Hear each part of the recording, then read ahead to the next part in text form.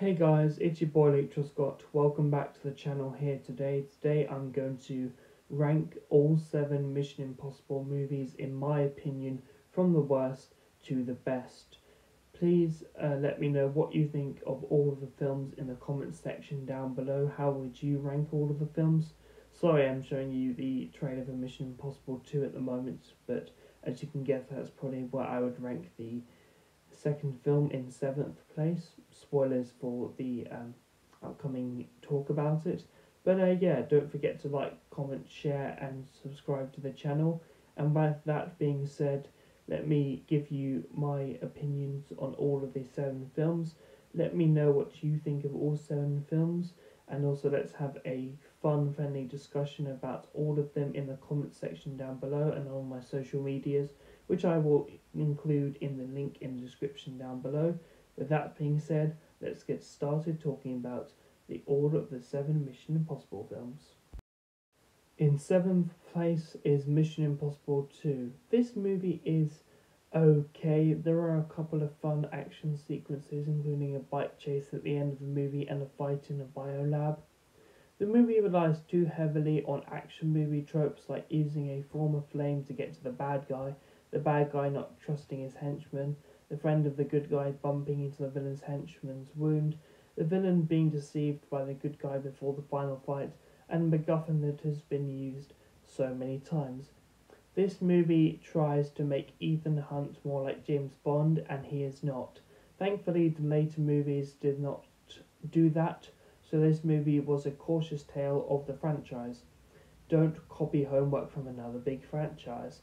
I give this movie a 6.5 out of 10, which is a good movie in my eyes. In sixth place is Mission Impossible. This movie is not bad, but I do prefer the other ones.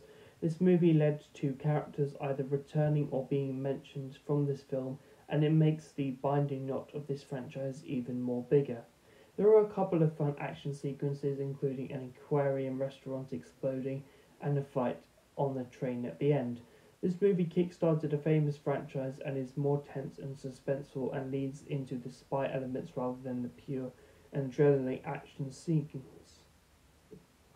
Tom Cruise is on fire here as a young and learning Ethan Hunt who finds out that his mentor is a traitor and working for the bad guy, but there is an inconsistency with this character in how he communicates with the bad guy in the Ethan's original team. It's disposable and only have some witty lines and are good in a party scene. The main villain is okay but could be done better and I wish he didn't meet Ethan before the train fight so that his reveal to be the bad guy would have hit harder than it did in the film. The Secretary Kittredge has a tense scene with Hunt and leads to him trusting him and using him to get to the bad guy. Max is whose legacy and reputation will see into the franchise later. This movie has one of the most tense high scenes with the which has been parodied over and over again and introduces us to one of the coolest characters of all time, Luther Stickell. Cool. This movie gets a 7.10, so 7 out of 10, which is a really good movie in my opinion. Also, the drama between Ethan and his new recruits is done really well, and it makes these scenes with them even more tense, suspenseful, and exciting as well.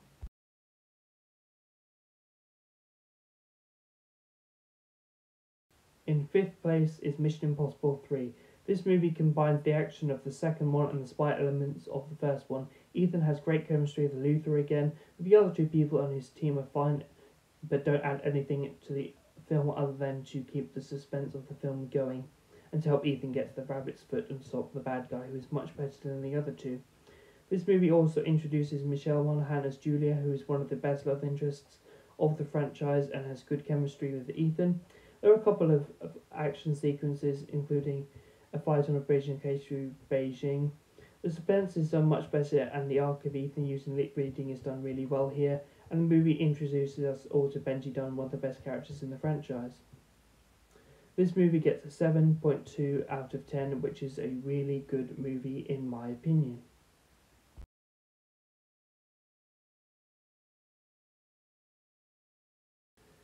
In fourth place is Mission Impossible Ghost Protocol.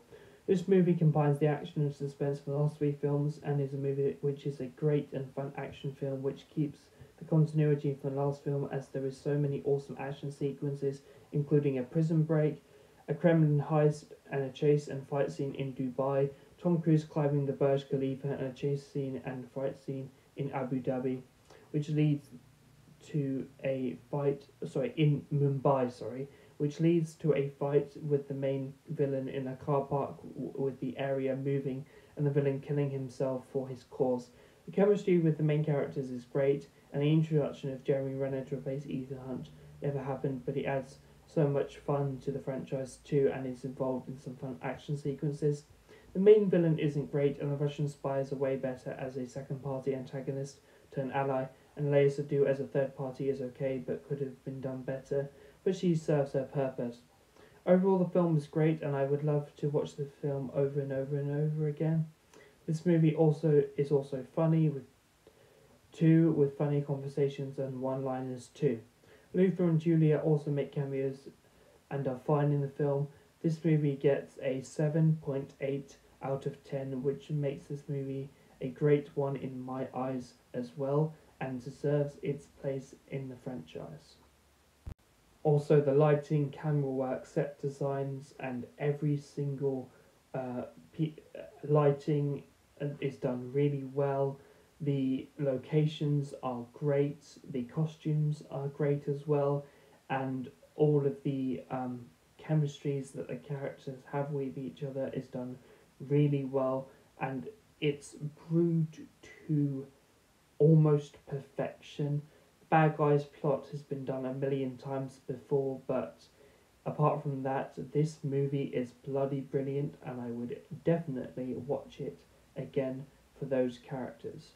What a bloody good movie this is, and yeah, I would recommend it to anyone who loves action adventure movies or movies in general. Wow, what a movie!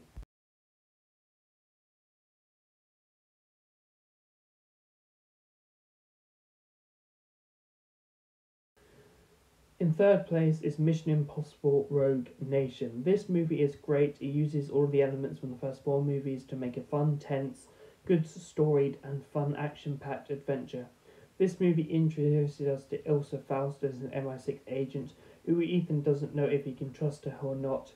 And the main villain uses everyone around him to get what he wants, which makes him a Blofeld esque character and is better than the other main villains of the franchise. Ethan has great chemistry with his team and they help him, especially Benji, who helps him out in the field again. This movie is funny too, and there's some witty one liners and physical comedy too. There's great action sequences, including Ethan hanging out on a plane door, a chase through Casablanca, a tense fight scene, and a talk with the villain in London, and a water scene to get the disc too. There were so many great reveals, like the Prime Minister knowing about it all, and the head of MI6 being a traitor, allowing these events to go into motion by making the syndicate, which is kind of like Spectre in this movie, but is done way better. This movie is great with fun action, great locations, suspenseful scenes, more fun characters, and well done reveals. Also, it the um, technical stuff is also done really well here. This movie gets an 8.0 zero out of ten for me. What's a really great film to watch, and I'd recommend it to you all of. I'd recommend it to all of to all people who love enjoying going to the movies, especially in the cinema. If this movie gets re-released in cinema, and I'd watch it again and again and again, especially on Amazon Prime. I know this movie's uh, trailers going on for a long time now, but I don't usually stall in things like this when it comes to rankings. But uh, yeah, this movie is bloody brilliant, and there's only a few flaws that I have with it. Like sometimes the villain's plot is a bit weird, but uh, yeah, and a bit convoluted sometimes. But I enjoy the hell out of this movie.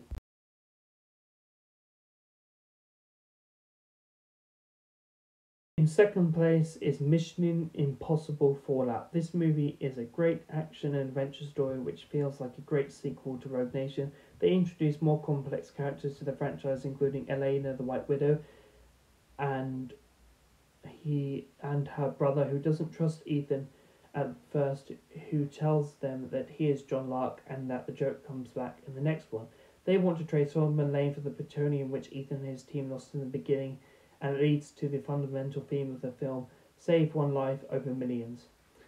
Um, this leads to Ethan and his team um, finding out that the CIA agent August August Walker is John Lark, and they find it out in a very tense, revealing scene. Also, they bring back Julia from the third film as um, a sort of um, way to motivate Ethan to stop the bad guy at the end of the film, which is really great. And this film ha- has the action, sorry, the action, tension characters, and camera work, lighting, extras, and locations are done so damn well in this film. As there no real flaw. Um, there are a couple of things in the film that I didn't like, but apart from that, this movie is great and I'd give it an 8.8 out of 10. This movie is a much watch for anyone who enjoys action movies. In first place is Mission Impossible Dead Reckoning Part 1. This movie combines all the fun, funny, tense, suspenseful, and well edited and well filmed movies of the franchise and cooks them together to make a three course delicious meal that is a definite must watch.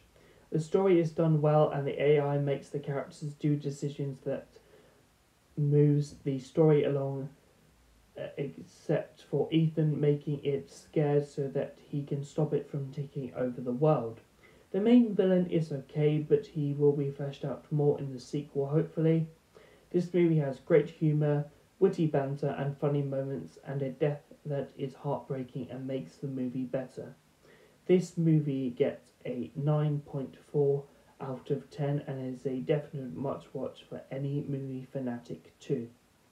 Well, that's all I've got for you guys today. I hope you enjoyed this ranking of the Mission Impossible movies, in my opinion.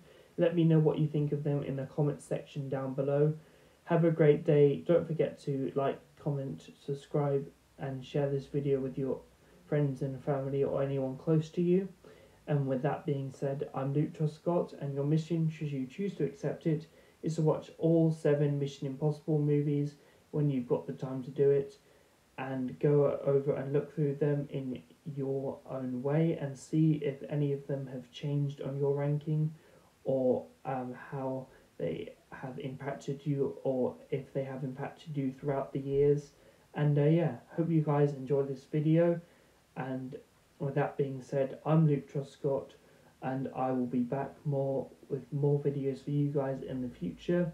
So don't forget to look out for them in the near future as I make more content for you guys throughout the next few months, including more vlogs and rankings like this. And uh, yeah, I hope you guys really enjoyed this video. If you did, then please like the hell out of it as well. And with that being said, I am getting the hell out of here. Woohoo.